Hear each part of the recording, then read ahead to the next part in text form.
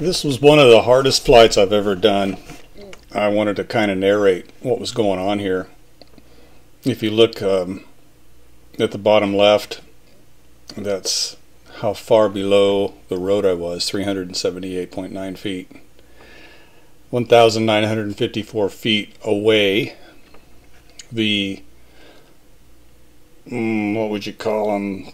The yellow lines or red lines that are flashing are giving you a warning that something's close.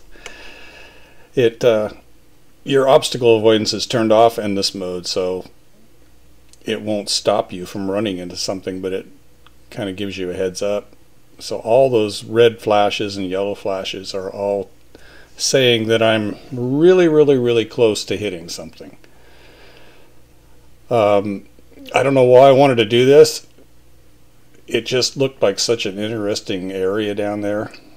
And in my mind, I think how beautiful it must have been down there when it was all forested before the fire. It had to be just like a lush paradise down there. I mean, it must have been so pretty. It's still pretty, but it burned bad down there. Anyway, it's uh, I'm glad I did it. I'm lucky I didn't lose my drone. I can't believe I did it. I get just as nervous watching this video as I did making it.